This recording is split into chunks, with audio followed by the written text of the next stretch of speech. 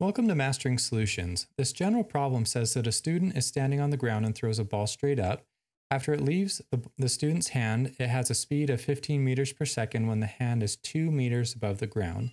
And we need to figure out how long is it in the air for. So when we draw a picture of this, it's really helpful because the student, it says we're starting off with the ball 2 meters above the ground and then the ball gets thrown up. And then the initial velocity here, we're not sure what it is, but we do know that the final velocity for this half of the ball in the air is zero meters per second. It's going to stop for just a split second, and then it will start to come back down. And we know the initial velocity for this half is the exact same here. So it's still at zero meters per second and then it's going to continue falling down another two meters.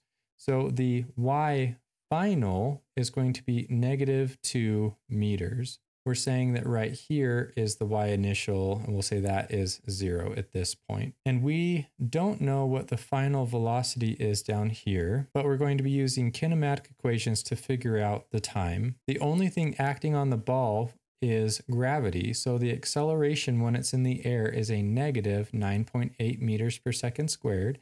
It's negative because since it's free fall, the gravity is pointing down. And we need to solve for time. And now the equation that we'll be using to solve for the time is y final is equal to y initial plus the initial velocity times the time plus 1 half of the acceleration times the time squared. I'm going to rearrange this and we can simplify the initial y as zero. We said it was y equals zero over here. So now let's subtract over y final to this side of the equation and change it up a little bit. So what we're going to have is zero is equal to one half acceleration times t squared plus v initial times time. And since we subtracted over y final, we'll minus y final there. And so those of you that have watched some of the other videos, you can recognize what's going on and you're already kind of sighing. But what we're going to do is just use a quadratic formula here because what we have is 0 is equal to a x squared plus bx plus c. t in this case, of course, is the x. And our values that we have are, let's come down here. We have 0 is equal to 1 half times Acceleration in this case is gravity.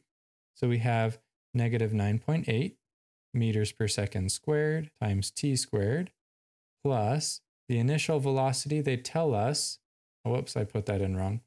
So we do know, they tell us in the problem, it's not a question mark, it is 15 meters per second. Sorry if that threw you off. So the initial velocity is 15 meters per second and that's multiplied by t. And then we're going to subtract a y final, but in this case, the y initial is zero and the y final is negative two.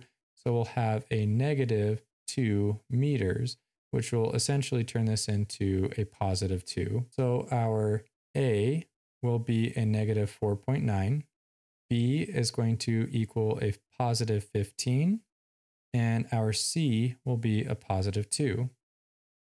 So when we come to my favorite calculator, we just go second polysolver, and there we are right there, ax squared plus bx plus c. Our a is negative 4.9, b is 15, and our c is 2.